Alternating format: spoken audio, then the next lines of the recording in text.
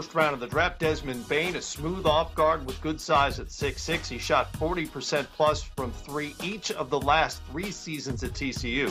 And Xavier Tillman Sr., a Draymond Green esque defender for Michigan State. That's Tom Izzo's evaluation, not mine.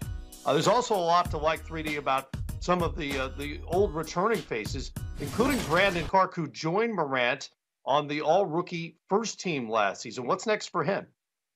Well, to continue to work on his offensive game, because one thing we learned about, he's very athletic and he got a lot of alley oop dunks around the basket.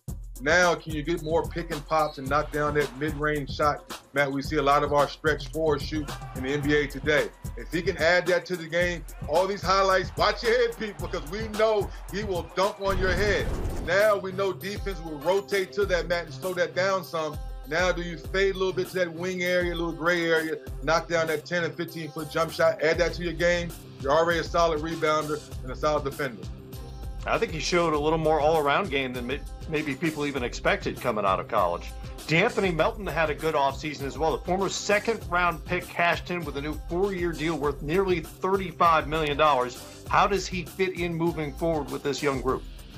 Well, I think he's going to be very vital early on, Matt, because with all the injuries, you know, Winslow and, and, JJ, until they get healthy, you look for Melton to come in and be that Swiss Army knife, Swiss Army knife to your point, Matt, playing good defense, uh, a, a, rangy shooter, Matt, where the numbers don't fall, come off the chart again, but he does knock down a timely three.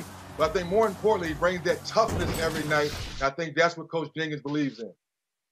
Well, the Grizzlies get going on Wednesday, December 23rd against the San Antonio Spurs. Martin Luther King Day, always a big part of their schedule as well. On January 18th, they'll take on Chris Paul and the Phoenix Suns. Play NBA Pick'em team win totals to predict whether the Grizzlies will go over or under the projected win total for the season. You can play at NBA.com slash Pick'em in 3D. The number for you is 30, over or under 30 wins this season.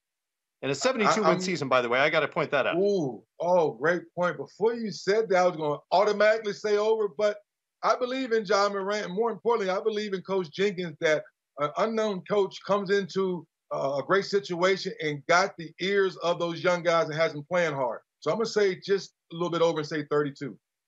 All right, here's the big question. The Grizzlies last made the postseason in 2017.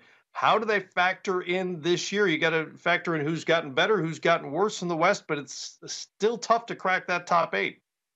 Yeah, it's going to be tough to uh, crack that top eight, Matt. I, I think they're a, a, battle for it, but I'm not sure if they're with, with the way their health is. If they can get healthy fast enough, then maybe they peek through the window and sneak in there for a playoff bid.